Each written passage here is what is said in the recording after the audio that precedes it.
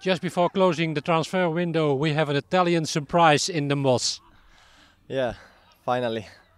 He's coming back, Edoardo Ceria. Yeah, I'm happy to be here and I hope to give something to the teams. We all you we all remember you your beautiful goal against VVV. Do you remember? Yeah, yeah, I remember it. I hope to join Jupiler League at the same time on my first game. I, I hope uh, in two weeks. And you are ready to play for FC Den Bosch? Yeah, yeah, I'm ready. I'm fit. Uh, I work hard all the all the summer, so I'm ready. Your condition is uh, 100%. Yeah, it's not 100%, but uh, almost. I just need one, two weeks of training with the teammates, and uh, we will be ready for fight together again. We're looking for the smile at Edoardo and the smile with the FC Den Bosch supporters.